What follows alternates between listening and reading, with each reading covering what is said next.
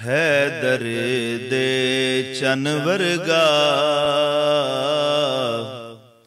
कोई जग न आया हैदर दे चनवरगा कोई जग न आया खुद सरवर आलम ने। खुद सरवर आलम ने।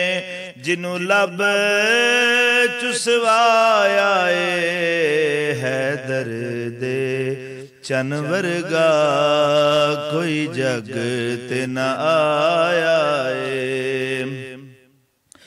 ਤੇ ਨਬੀ ਪਾਕ ਦੇ ਚਮਨ ਦੇ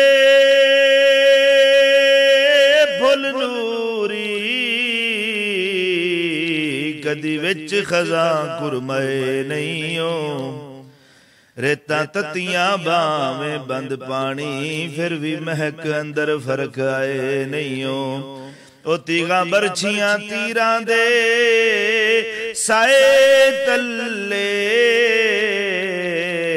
ਉਹਨਾਂ ਆਪਣੇ ਰੰਗ ਬਦਲਾਏ ਨਹੀਂ ਓ ਮਾਲੀ ਕਿਸੇ ਸਰਦਾਰ ਜਹਾਨ ਅੰਦਰ ਬੂਟੇ ਇੰਜ ਦੇ ਪਾਲ ਵਿਖਾਏ ਨਹੀਂ ਓ ਹੈ ਦਰ ਦੇ बच्चन वर्गा कोई जग न आया खुद सरवर आलम ने जिनू लब चुसवाया है।